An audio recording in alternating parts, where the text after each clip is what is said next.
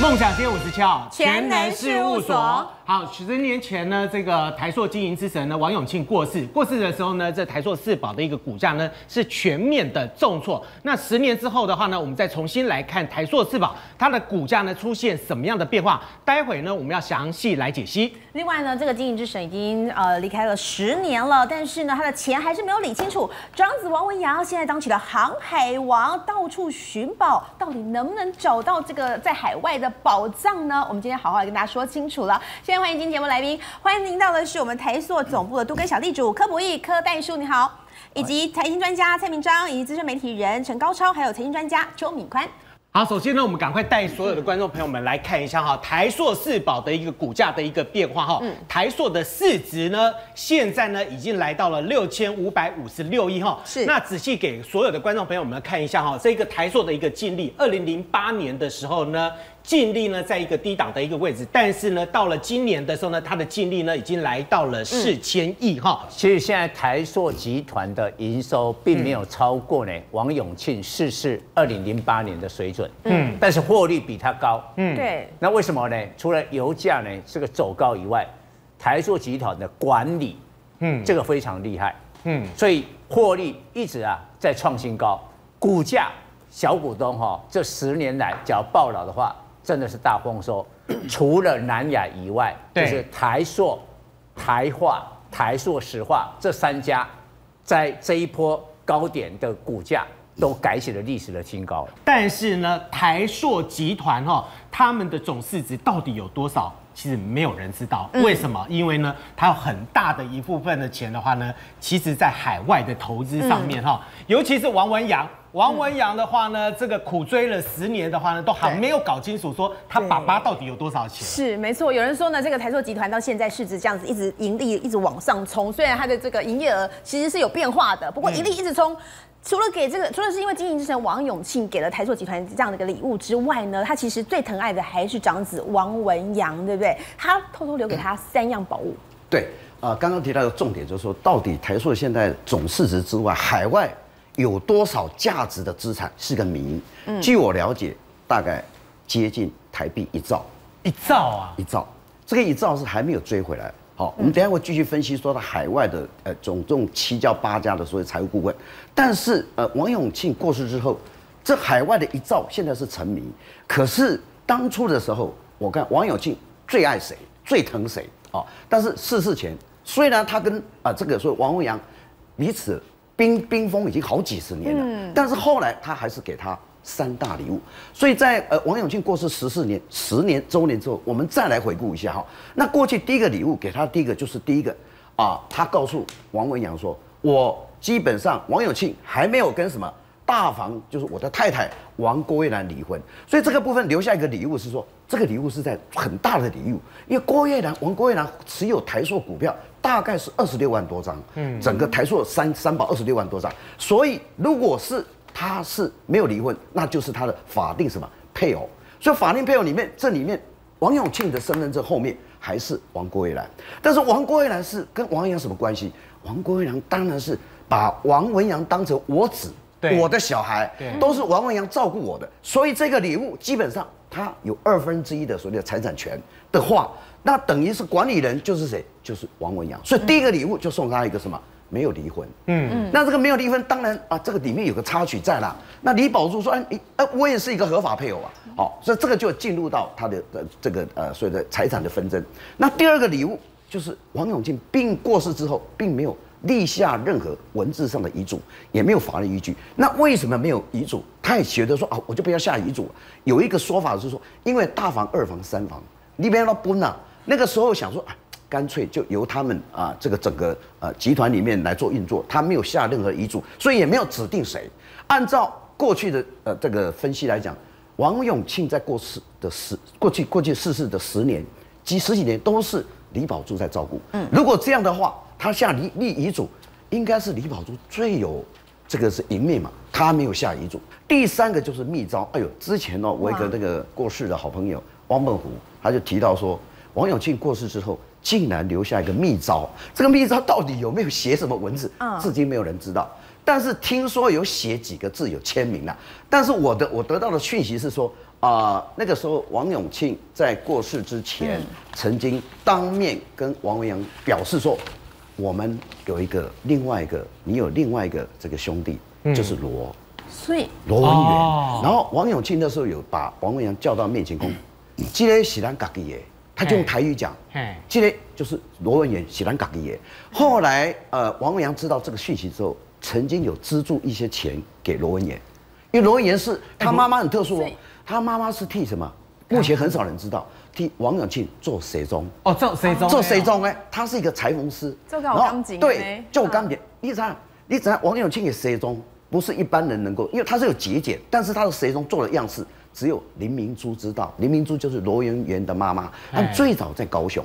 那呃呃呃，林明珠大概这个呃大概十七八岁就跟王永庆在一起，所以做谁中做咖谈恋爱哦，所以后来才有所谓的罗文那个传元言有很多，也有讲说是护士之类的。啊，护士是另外一个，还有一个 哦，对不起，所以这个秘招，所以这这个密招是关于他在在外子女的。这一位是裁缝密师，是吗？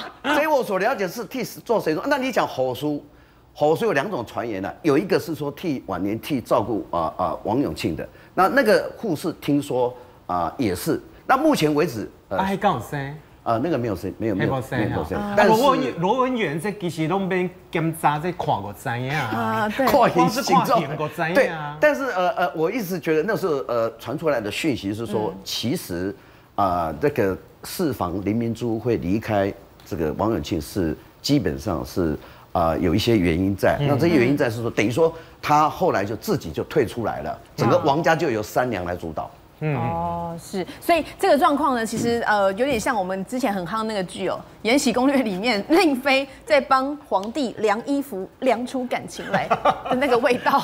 因为他是那个裁缝师啊，因为裁缝师的关系哦。不过呢，这个呃说实在的哈，那个三道密诏里面的话呢，其实对王文洋都是比较有利的哈，尤其是大房这一边。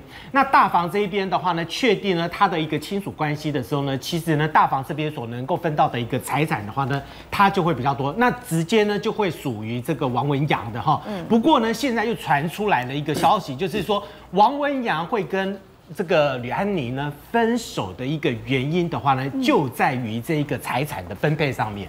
对，倩姐看到这个消息啊，真的对簿公堂，真的是难堪啊。那去年九月啊，听说王文洋跟李安妮还有王全利啊，对那聚餐之后啊，哎，就王文洋就见不到自己这个最喜欢的这个儿子了。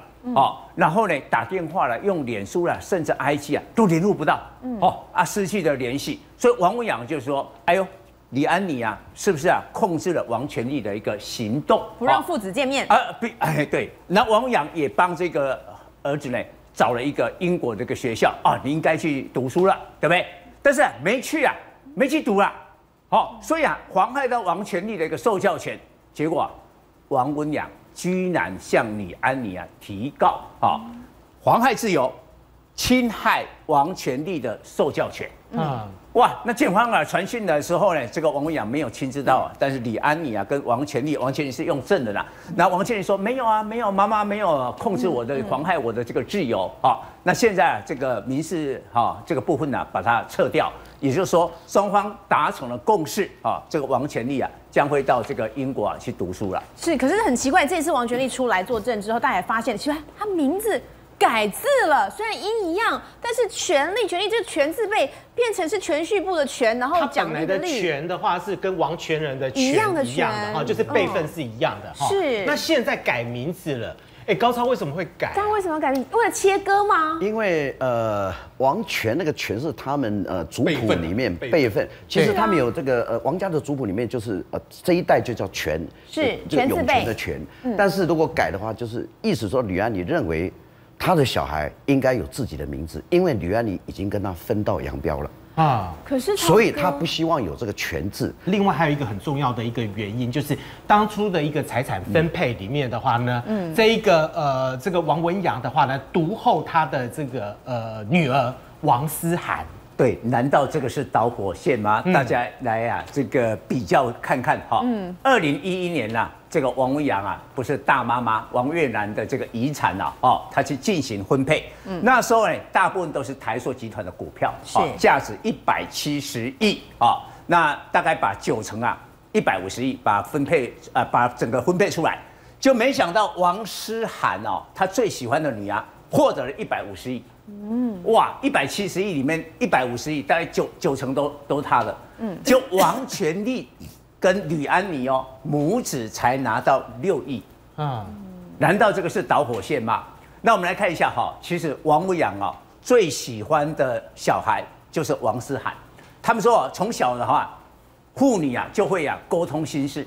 嗯，我们来看一个哈，那时候王牧阳出来自立门户啊，成立红人企业集团，啊，但是你看他英文字，呃，英文字哈，这个公司叫 Grace，T H W，是这个 Grace 就是王思涵的。名字的名字啊，所以爱你爱到这样哎，对不对？创立公司还用女儿的名字来命名嘛，哦，然后呢，你看哦，一起去听音乐会，对不对？然后呢，牵手逛街，真的是上辈子情人呐。对，女儿是爸爸的上辈子情人。然后呢，他说一个逛街是一个礼拜逛两次，是，好。然后呢，因为女儿哈是读这个经济的，其实他他的他是遗传他妈妈喜欢那种设计。哇，王阳买那个逸之宴啊，那个豪宅，哎呀，一整栋的楼中楼，他还喂他吃东西，你看这王阳喂女儿吃，好贴心的爸爸哟，很疼很疼。而且哈，现在什么王思涵不是婚变吗？对，也传出一个消息啊，希望把外孙变成内孙哦。怎么变？对，有改姓了。你看，哦哦，就是刚刚那个改姓嘛。这个改姓有有有这个有啊，这个已经呃，那个对方已经拿到一亿。本来是要七亿八亿的，后来这个王思然的那边的那个呃那个情就是他情夫嘛，后来是只有拿到一亿，然后拿到一亿，刚刚蔡总队讲的没有错，王伟阳希望改变来孙，希望改名字，那这个目前还在进行当中，进行当中，是有可能真的会有可能。把它改成功，有可能看有可能好，好，但是哈对这个王权利啊王阳也很喜欢，嗯，好，你看哦。他喜欢拉这个小提琴，像那个王岳南的那个纪念会的时候啊，李安你弄一个光碟，这个王全利出来就拉那个小提琴，是。好，那小提琴好来，你呀三世界三大名琴啊，一百六十万美金啊，价值台币五千万这一把琴就买给他，然后他学琴啊不到两年呐就达到，听说他是神童级的，对，八级的检定，还跑到那个跟啊许文龙奇美实业，他不是有一个博物馆吗？专门收集啊世界的名琴。哎，两个辈分差那么多啊！这个王全利跟许文龙一起拉琴啦。许文龙跟他讲说，以后你喜欢拉哪一个琴哦，你就跟我讲。结果有一次啊，王全利跟啊王文阳说：“爸爸，我看了一一把琴啊。”啊，爸爸说：“哎，多少钱？二台币二十四亿，二十四亿，二十四亿。”所以啊，那个买了吗？王文阳说：“爸爸买不起啊。”哦，吓一跳，吓一跳。所以可以看得出来他独到的眼光，他眼光很好。对啊，所以。都喜欢呐，这个爱儿爱儿子爱女啊，都花这样哈。然后现在帮王全利啊说，英国的伦敦学院啊，你去读啊，一年的学费啊，大概将近百万的这个台币啦。嗯，是。好，这个原王全义的话呢，是呃这个王文阳跟呃吕安妮所生的一个唯一的儿子哈。嗯。但是我问一下这个敏宽哈，其实当初的话呢，呃这个。呃，王文阳为了吕安妮哈，还放弃了整个江山哈。那气的王永庆呢，是废立太子哈，把他赶出了这个台塑的一个大门里面。怎么现在会变成这样的一个情形？王文阳董事长其实在民国六十四年的时候，就跟原配陈静文呃女士结婚。嗯，那他们最早结婚的时候，其实是因为王文阳其实他在英国的时候就一直在追陈静文小姐，然后回来之后，他爸爸看，嗯，这找不给那美败。因为那个时候，我们仔细去观察陈静文小姐，她在年轻的时候，真的是也就秀坏慧中，完全就是那种有钱人家里媳妇那个样子。气质。回到台湾之后，两个夫妻一起到美国，民国六十四年开始，一直在美国奋斗了十多年。奋斗十多年的一个过程当中，民国六十九年，那个长子就出生了，后面王思涵小姐也就出生，所以陈静文小姐她是最早两个小孩的妈妈。嗯。可这件事情一直走走走走走走到民国八十四年。民国八十四年，王文阳先生他去台大 EMBA 教课，EMBA 教课这一教课，那时候女安妮小姐是那时候的学生，两个人一看，哇，天雷勾动地火了。这件事情后面其实大家看新闻也都知道，可这件事情后面就回去传到了王永庆董事长的一个耳朵里面。王永庆董事长他一听，哇，阿文家已经都已经提出哎，啊有太太有正宫夫人也生了两个小孩。外面又跟一个女生在一起，那后面要怎么办？想啊想，想啊想。那个时候，王文洋董事长其实在台塑里面自己还有办公室，自己也还有办公桌。后来，王永庆先生他就有一天，他就找了太子少保，这个太子少保叫做吴清仁先生，这个吴清仁就是王文洋的老师。台塑集团当中所有的事情都是吴清仁先生去教王文洋，也就是说，吴清仁他就是王永庆亲自指派你要去教我的儿子，把我这个整个企业的这个大帝国全部都了解。有一天，董座王文王永庆他就叫吴清仁先生进来，然后就拿给他一件东西，就一个小小的信封。一个小小的信封上面，结果里面写什么？很简单，里面就是一张名片。这张名片上面是王永庆董事长的名片，后面打开来两个字“免职”。这个免职就拿着。过了几天，吴清仁他就亲自的去看王文洋，然后就说：“你的爸爸叫我把这个拿给你。”然后王文洋把这个信封打开来，看到爸爸的名片，后面一看，你去想，你那个爸爸的字你总是认得嘛？上面就写的“免职”。那写了免职之后，整个王文洋他就他就整个办公室也都不去了。那这件事情其实最后是有垂桥的哦。什么叫有垂桥？因为王永庆先生那时候还在气头上，还在气头上的时候他是写免职，可是后面他的叔叔王永在跟吴清仁两个人还去力保，跟他说啊买啦，还是列清好心呀呢，你就把他给免职了，这样真的好吗？后面他就改成所谓的内部出了所谓的报告。所以那时候是由整个台塑的总经理出来说，哦，王文洋先生、王文洋协理在外面哦，包括吕安妮小姐这件事情，对社会形象可能不太好，所以短线先离开一年。那这其其实呢，里面可以看得出来哈，这一路下来的话呢，其实呢，呃，王文洋里面的话呢，其实扮演非常重要的一个角色哈。那这王文洋的一个角色的话呢，要从哪边开始说起呢？要从遗产里面开始说起。嗯，从。王永庆过世的那一刻开始的话呢，其实呢，王家就出现了不少的遗产的一个纷争里面哦，其中还包含了呃，最近呢，呃，前不久哈，在今年年初的左左右的一个时间呢，出呃出现了一份这个天堂文件，那么天堂文件里面呢，还特别指出了。王家在海外的资产，这个海外的资产的话呢，大到你无法想象，甚至呢，搞不好换算下来的话呢，比那个高超讲的那个一兆的海外的一个资产还要更来得高哈。因为呢，王永庆跟王永在呢，在很早的时候呢，二零零一年到二零零五年的时候呢，在海外成立了一个信托的一个账户，而且呢，不是只有一个哦，是好几个账户。好，所以我们进一步了解王阳为什么要当航海王，去找这些宝藏啊。根据这个天堂文件，天堂文件就是啊，这个国际调查记者同盟他们发布出来有关避税天堂的这些文件。了解，根据了解哦，连英国女王都是这边的客户。对，那台湾人呢，有一千个，其中最大咖的就是王永庆兄弟啊。他们在二零零一到二零零五年密集信托，在华盛顿还有百慕达成立了五大信托哦，控制了台湾、美国、大陆私人的投资哦。我们先看一下这个金额大到怎么样。二零零八年底啊，王永庆过世的时候，国税局就官方认定他的财产呢是五百九十五亿。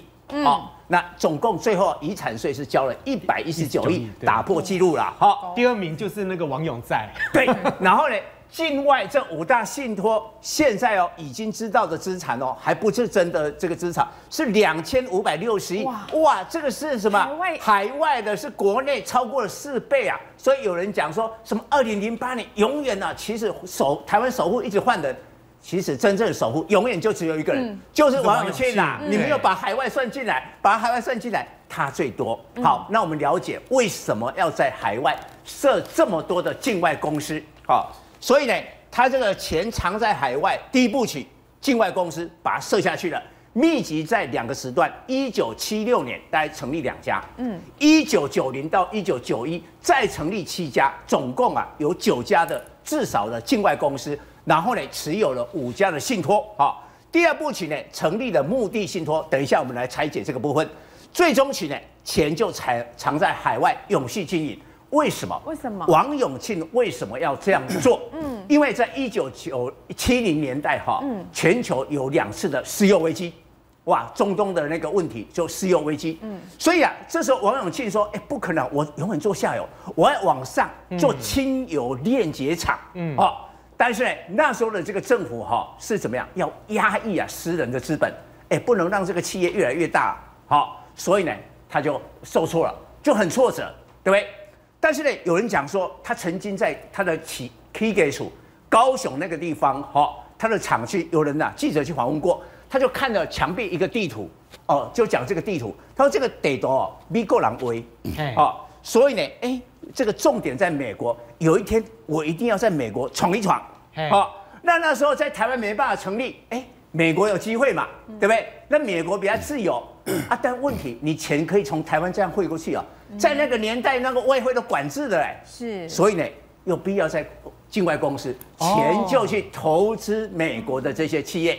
再怪有一次事件了，一九九零年，你知道王永庆曾经跟邓小平密会，嗯，你知道后来签订，那时候他人躲在美国，好，在本人签订投资厦门海昌，哦，哇，这个消息被啊李登辉、郝柏村知道。那时候李登辉是总统，郝柏村是行政院长。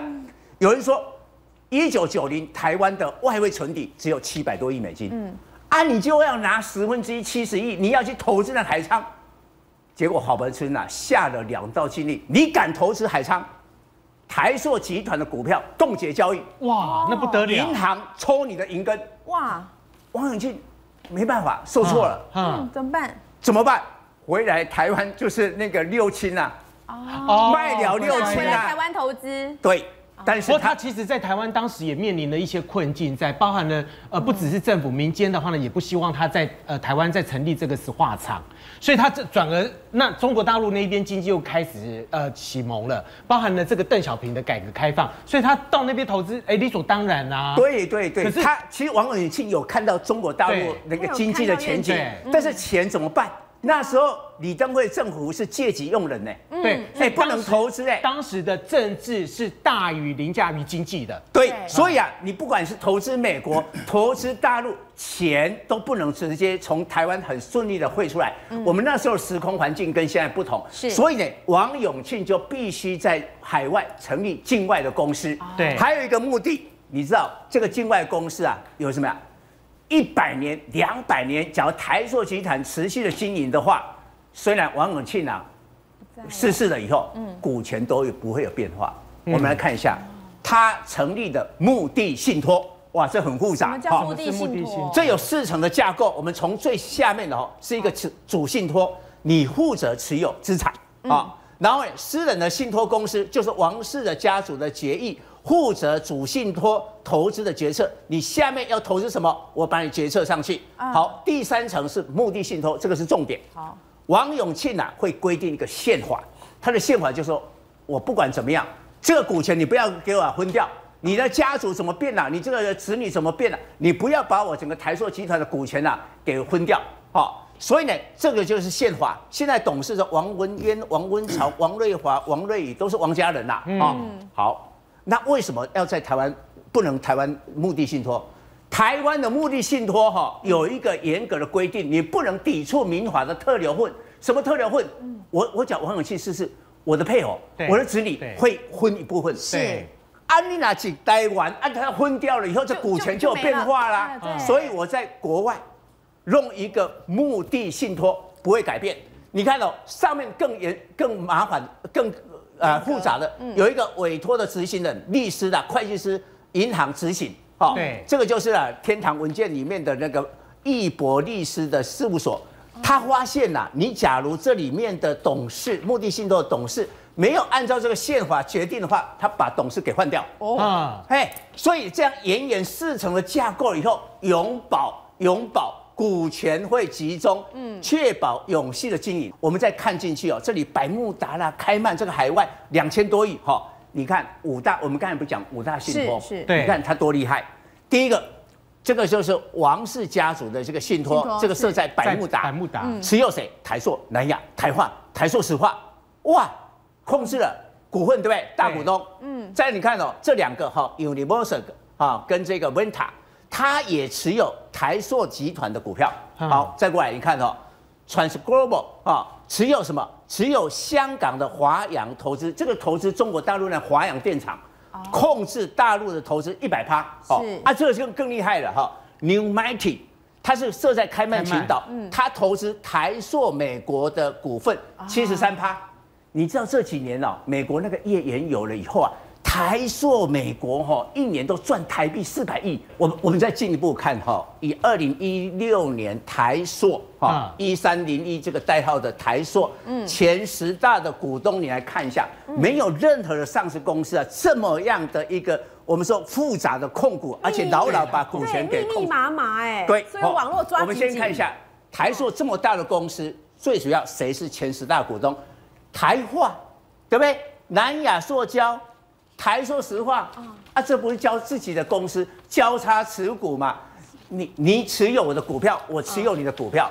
再过来，你来看一下哈，这个地方第一名的最大的股东长庚医院，这边是什么？明治科技大学。对，嗯，这个是财团华人呐，对，是，对不对？这股权不会，你你没有把这个医院拿下来，把学校拿下来，动不了的，动不了嘛。好啊，再过来，这里有投资公司啊，万顺、秦氏这两家就是这个五大信托 对控制的，所以它透过三个部分，第一个台塑集团本身的集团公司的交叉持股，再过来就是财团法人的长庚，还有明治大学，嗯，再过来就是他们五大信托的投资公司。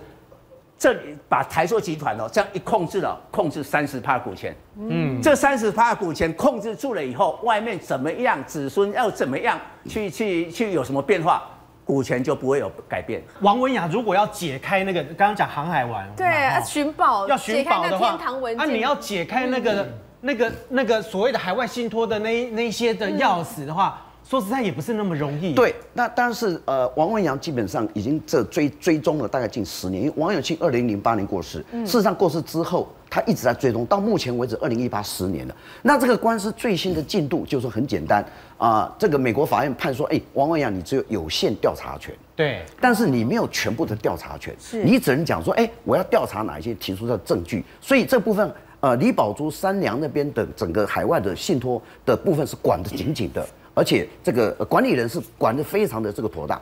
但是王阳还是在之后啊，我所了解，他我也听过，他为什么要去侦呃侦查这么多的这个所谓的海外的资产，要靠谁？他找了二十几个美国军情局退下来的哇，CIA、FBI 都是高手，这里面有财务专家还是真的？真的。真的真的二十几个 CIA 退下来的人退下来，因为这些人基本上有些是作为金融犯罪的调查的，有的是刑事犯罪，有的是了解美国这样的信托法里面刚刚啊蔡总提到的目的信托，还有一个管理人，就这些人都是高手。那他就是找这些人，而且在美国现在在大陆。在各个地方都开始侦，诶追查。这零九年开始追，追到现在，哎，追啊追啊！但是因为是美国，这个是要打一个官司，对，所以他现在去一定要把这资料拿出来之后，他要呈现出说这个信托五大信托里面到底是出现什么问题呀？嗯，所以到现在还十年下来的话，还没有办法解开，还没有办法解开。目前最新的所以可见王王永庆当时的布局布得非常的深了。但是王文阳认为王永庆海外的资产不止五千亿，对，他认为。超过一兆台币，嗯，所以五千亿我都已经找这些人在追查。那如果是一兆呢？那我可能找一追下去。我我我找个军团来去什么去真去了解一下。但是呃，我想最重要就是假设啦，这个这一场海外的官司，如果哪一天是水落石出的话，最大的受益者是王文洋，因为他有一张这样的王郭月兰给他的遗嘱。那这张遗嘱我得到的讯息是这样的，我们先来念一下哈，就是本人就是王国月兰讲的。啊，膝下没有亲生子女哈，日常照顾抚养全赖王文阳一个人帮忙，待我如亲生母亲的一般，本人甚为感念。好，另外一个，本人啊身故死亡，身后事委由我子王文阳处理。我子王文阳，哦，对对对，所以以后所有的遗产应得的权利扣除丧葬费用，全部赠与我子。王文阳虽然他没有一个认养的一个所谓的法律行为，但是这一张遗嘱是非常的重要。但我这张遗嘱有一个过程非常的离奇。呃，我记得是王文阳那时候提到说，呃，王永庆过世之前，在二零零八年之前，这一张遗嘱，王国阳写的遗嘱就已经拿给他。那有一天，王文阳就拿到一个这个信封袋、牛皮纸袋里面，然后呃，就是他的妈妈，就是所谓的大房啊，王桂兰。派人送给他，然后王阳就把王阳就把这东西随便丢在这个抽屉里面，没有打开。这一张东西曾经在抽屉里面躺很久，躺了半年，是王永庆过世之前。然后后来王永庆在二零零八年十月十五号过世的时候，王阳忽然想说，哎，大妈有个一个什么东西，嗯，然后忽然就把抽屉打开，一开。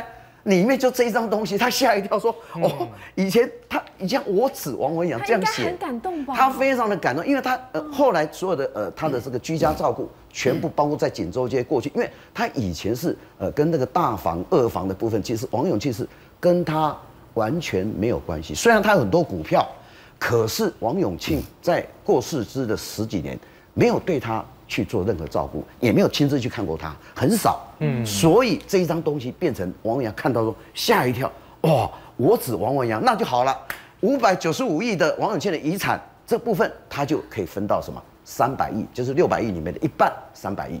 但是呢，其实呢，在呃这个王永庆过世的当天的时候呢，其实对于风水这一件事情的话呢，就引起很多人的关注哈，尤其是当时他这个呃要葬呃下葬的一个地点哈，到底应该怎么葬，到底未来要不要合葬这一件事情的话呢，其实就有很多的说法，甚至呢大房跟二房跟三房的话呢，其实都存在着不一样的一个想法在哈，其中还有一个呢，就是有关于这一个。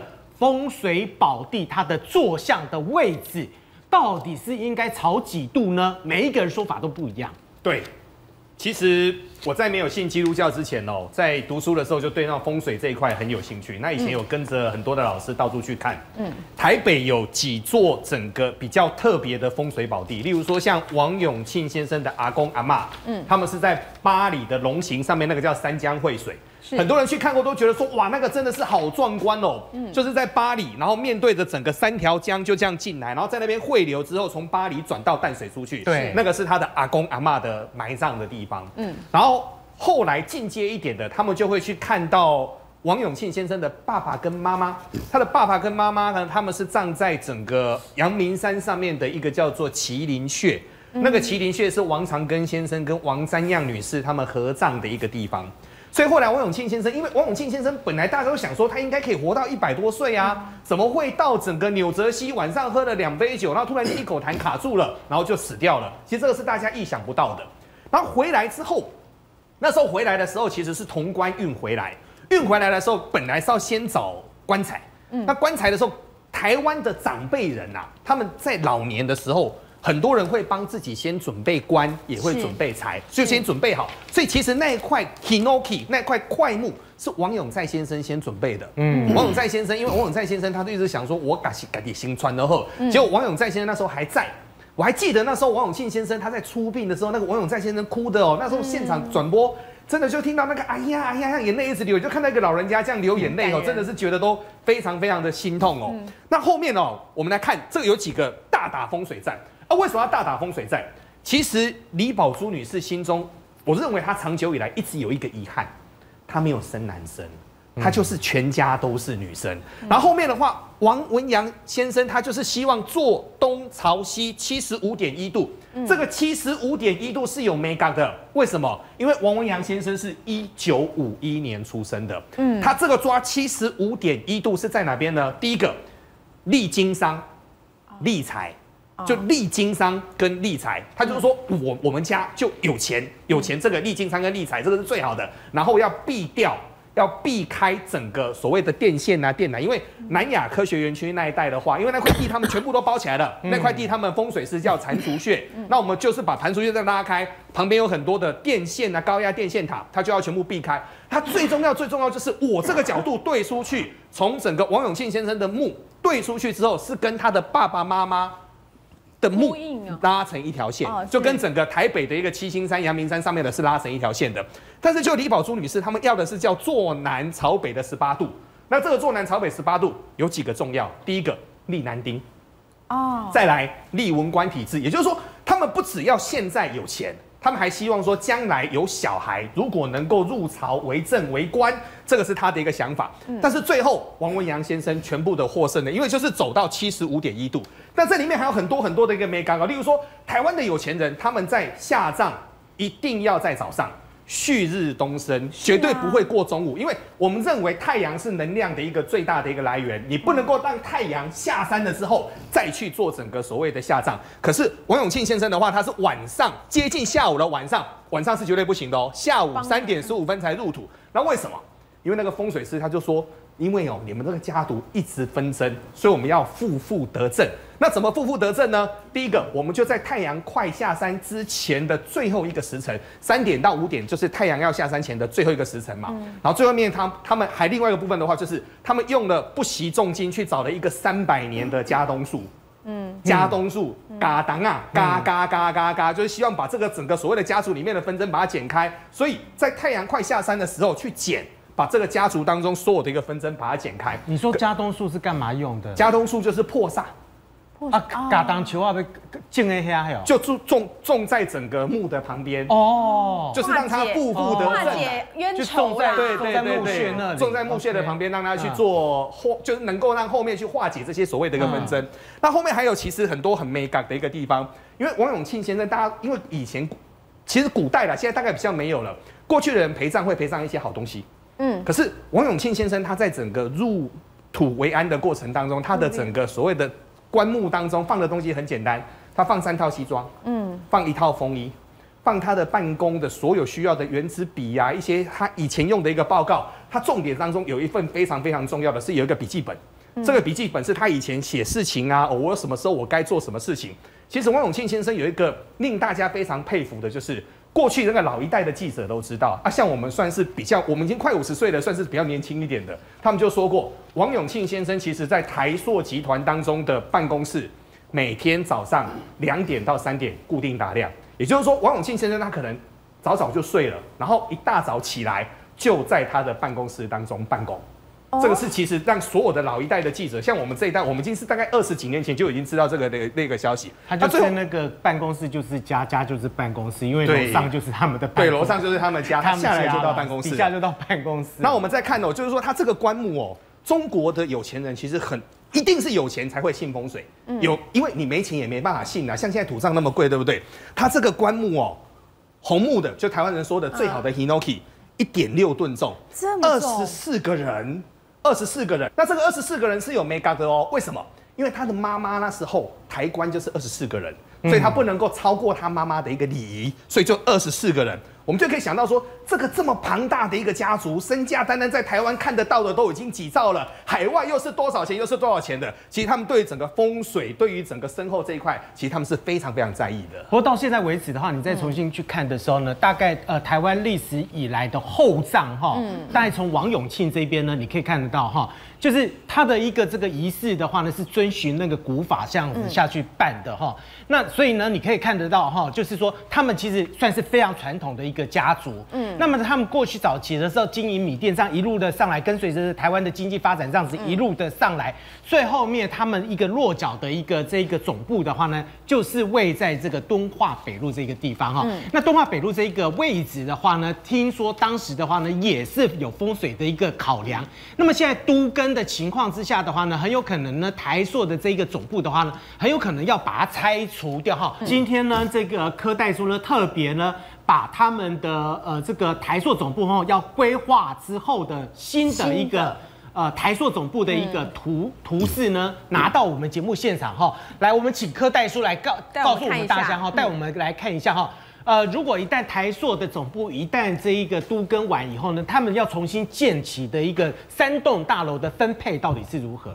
他现在就是说，这个是东闹别路，对，嗯，哦，啊这边一栋。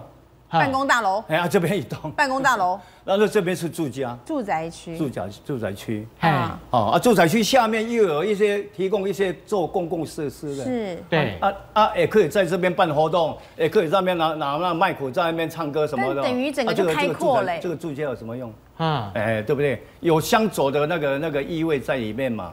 是哦，这个这个这个自由活动，这个也没有什么围篱啊。你看，这都都是树木这样围起来，这怎么适合适合这个呢？啊，可是他们就以为说，他们是我们可以盖二十二楼嘛，啊，十十六楼以上都是大大面积的，我们我们要我们想要也也是没有用。啊，你说我们可以要七八十平的啊，七八十平再扣一扣，再想一想，有钱的人会跟你买这个房子吗？所以你现在分配到的是办公区块，是不是？办公大楼。我到最后没有办法，因为我认为六六七十平再扣完公共车这这个一点点嘛。对有钱的人怎么这个是什么什么豪宅啊？对不对？而且你又那么低，下面有什么活动，冰冰冰冰冰冰，这个没有围篱呢？这个这这个不是围墙围起来，开放式的，它是开放 open 式的嘛对，open open space 的嘛。对，啊，所以这个住家我觉得不一样。嗯。哦，啊，所以我到最后没有办法，我是选什么呢？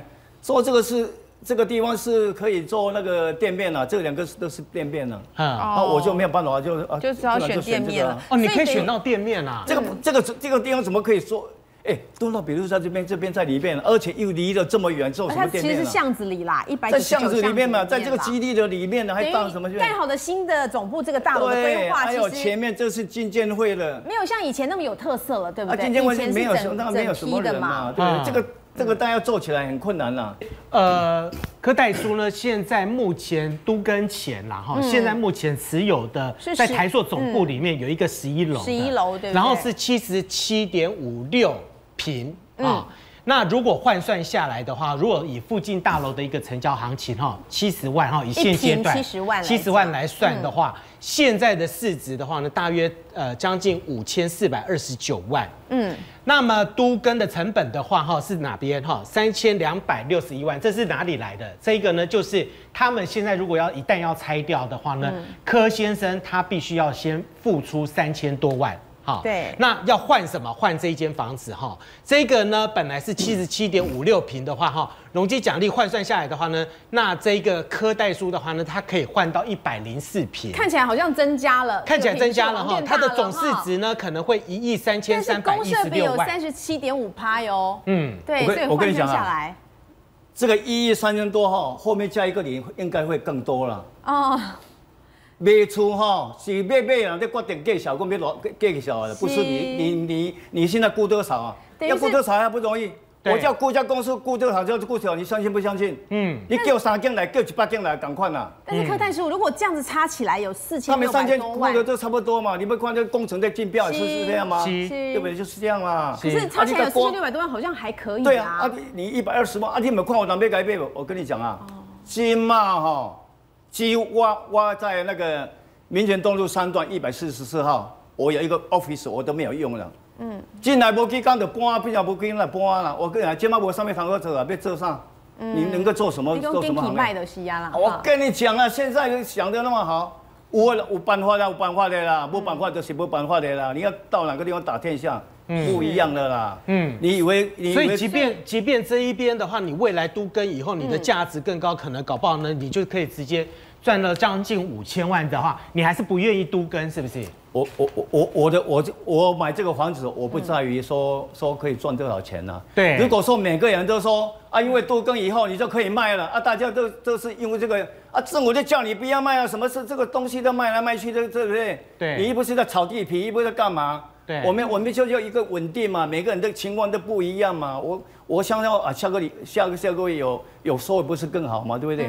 而且我的小孩也不是。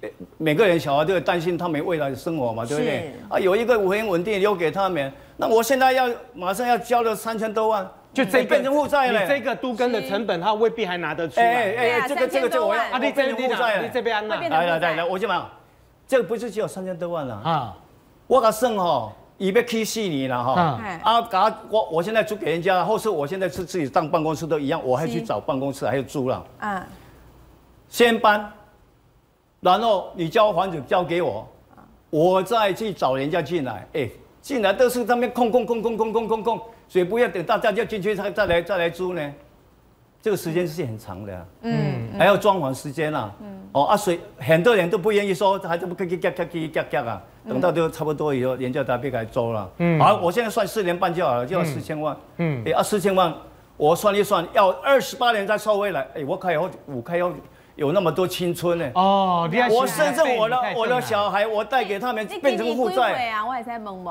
你给你几岁？我现在七十五岁了，还能活多久？嗯，是哎，二十八年到这样。对了，我不管怎么样，我说这个哈就留给负债。我现在不是讲我，我不是为了我自己的那个子孙呐。未来我们台北市很多都更都有像我这种情况。是啊。啊，如果以现在的容积率来讲哦，我跟你讲啊，很难开花了。是。可以可以这样讲啊。哎，你现在那个七十七点五六平的空间，现在是出租出去还是自己在使用办公室啊？我我我的我的我已经哈买了十十来十几年了。对。我都没有涨过一毛钱。是当办公室吗？我就租出去，我都没有跟他们涨过一毛钱。所以这个台塑集团总部的这栋大楼，这个重建都跟案呢，除了刚刚讲到这个小地主要对上这个大地主的这些都跟负担之外呢，其实还有很多的争议在里头，包括了这栋大楼它到底能不能，到底适不适合，有没有必要性要去进行这个重建呢？另外还有就是都市更新处奇怪了，怎么好像前后的判决不太一样？到底发生了什么事？我们现在休息一下，稍后回来继续讨论。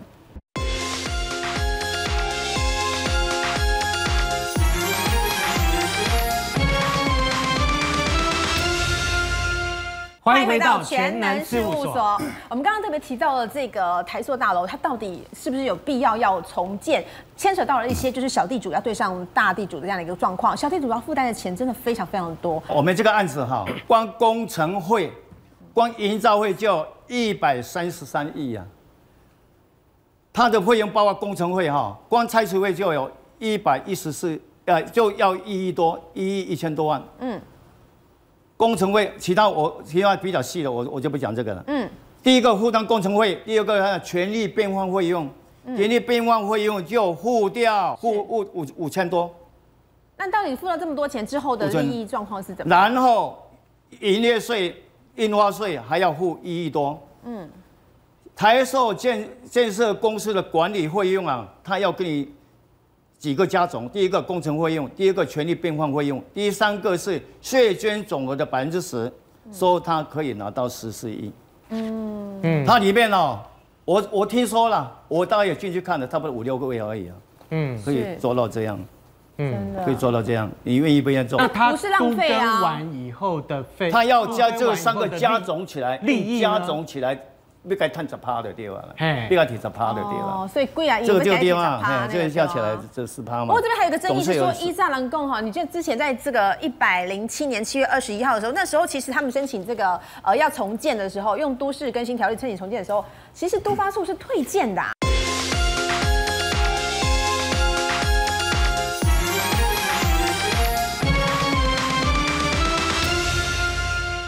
用都市更新条例申请重建的时候，其实都发处是退建的。那后来为什么到了今年的十月六号又通过了呢？到底中间发生了什么事情？他原先哈，因为这这个这是他们在操作，我们也不太清楚了。嗯，但是我会想，我我们所知道听到的，因为这个这个跟公共建设是没有相关的。是。所以就变了退回来。所以那时候七月二十号是退建的，都已经完成开发了嘛，对不对？可以不用重建。七月是这样讲的。退建了以后，人家那那人人就讲，啊，这个都根本政府在改嘛，就叫你捐款一些公司出来到了十月份，白宫这必须要重建，这可以重建的。对对对，到时候啊，就就是说。我们我们可以捐一些的一一些的房子出来啊，第嗯，还有车位出来啊，就就说说，哎，这个这个对公益有那个，那时候根据法条具有公益性嘛，是那时候根据法条我听的是这样条啦。那时候讲说呢，自定划自行划定更新单元，可以申请实施该地区的都市更新事业。对，所以是根据这一条。也是这个都市更新条例，那时候杜巴局通过的，对对，是根据这条。但是原本其实，如果你们按照这个你们之前提中的这第六条，其实它必须要发生什么战争啊、火灾啊、风灾才能够进行。